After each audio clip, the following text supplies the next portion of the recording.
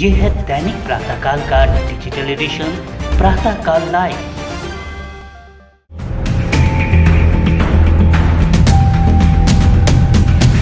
देश की आर्थिक राजधानी की मुंबई पुलिस के शिकंजे से बचने के लिए ड्रग्स स्मगलर नए नए तरीके तलाशते रहते हैं। हालाँकि देर सवेर वह पुलिस की गिरफ्त में आते ज़रूर हैं।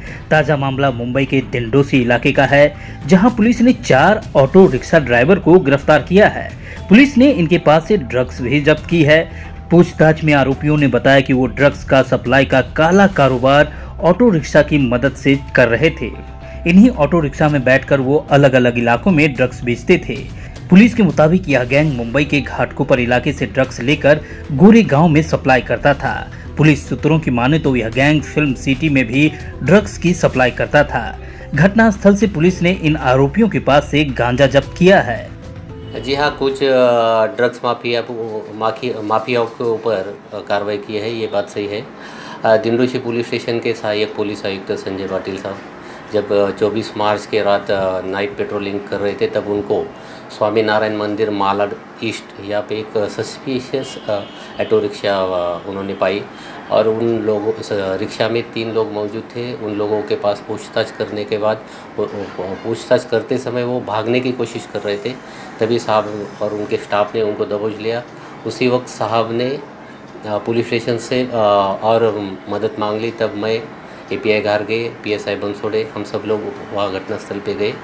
वहाँ पे अधिक पूछताछ करने के बाद पता चला कि ऑटो रिक्शा में ब्लू कलर की थैली में दो किलो गांजा था। तो सभी लोगों को पुलिस स्टेशन लेके अ, और पूछताछ की तब पता चला कि ये ये लोग घाटकोपर के रहने वाले हैं। तीन लोग घटनास्थल पे पाए। उन तीन लोगों के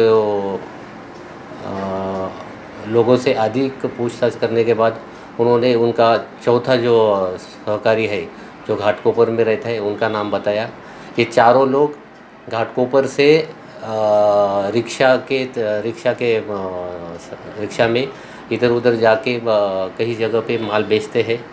उनकी एक महिला साथी है, जो वांटेड है, अभी उनकी तलाश जारी है। जल्दी ही उनको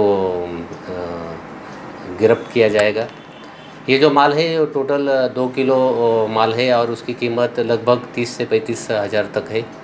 आगे की इंक्वायरी इन्वेस्टिगेशन हमारे सुपीरियर ऑफिसर के गाइडेंस में चल रही है। सर जानकारी है कि काफ़ी लंबे समय से ये लोग घाट के ऊपर से ड्रग्स लाते थे और यहाँ मलाड अ, डिंडोसी गोरेगांव इलाके में सप्लाई करते थे। इसके बारे में पूछताछ जारी है। जैसे ही पूछताछ कंप्लीट हो जाएगी हम आपको जानकारी दे सर क्या लगता है कि मामले में और भी गिरफ्तारियाँ हो सकती है क्या? एक महिला इसमें वांटेड है महिला आरोपी। उसकी गिरफ्तारी हो जाएगी उसके बाद महिला से पूछताछ करने के बाद पता चलेगा कि इनके साथ और कौन काम कर रहा है कहाँ से माल लाते हैं कहाँ कहाँ बेचते हैं।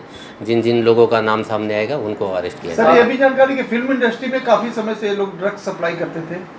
नहीं अभी तक वो बात सामने आने बाकी है पूछताछ जारी है। हाँ सर जो रिक्शा चालक हैं जो आरोपी हैं क्या उनके खिलाफ पहले से भी पुलिस स्टेशन में मामला दर्ज है? कोई सर कोई भी? नहीं इन सभी बातों की जाँच चल रही है। जाँच होते ही हम आपको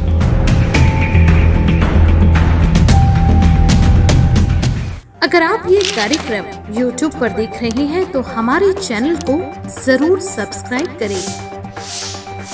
और Facebook पर देख रहे हैं तो हमारे पेज को लाइक करना ना भूलें।